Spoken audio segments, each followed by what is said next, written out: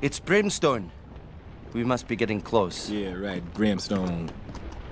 Don't be talking about the brimstone. I know what I smell, and there wasn't no brimstone. Didn't come off no stone neither.